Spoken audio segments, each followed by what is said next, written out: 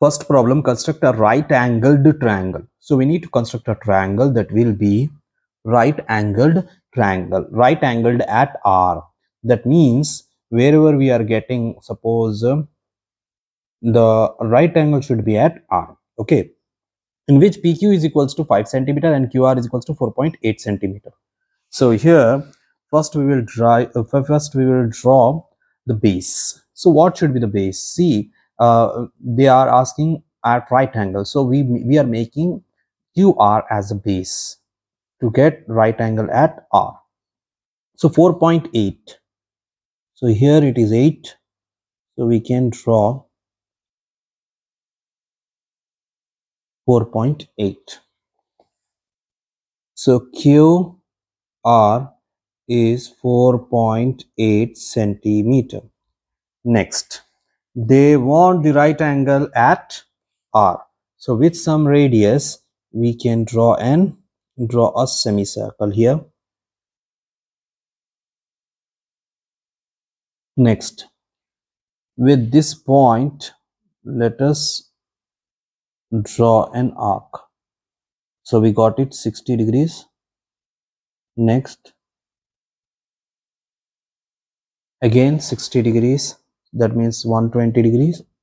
Now we need to draw the bisector of this.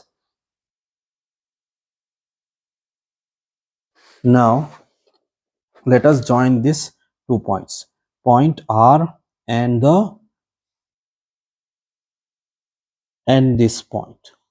So we got 90 degrees. Now they told us that to take pq as 5 centimeter so we already got the Q for up to P we need to take 5 centimeter. So this is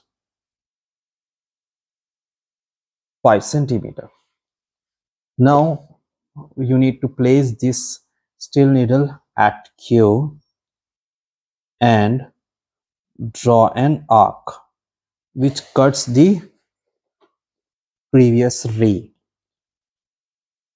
we can see that it is here so we can join it.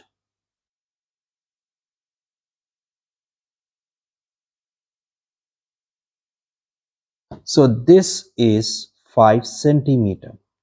So therefore lastly we can write down uh, otherwise first we will write down the given information. We should write it earlier.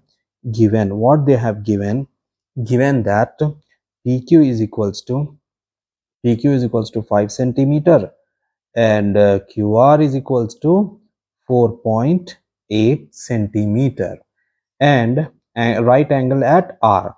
So that means and angle R is equals to 90 degrees. So this is the given information. Therefore, we can write down PQR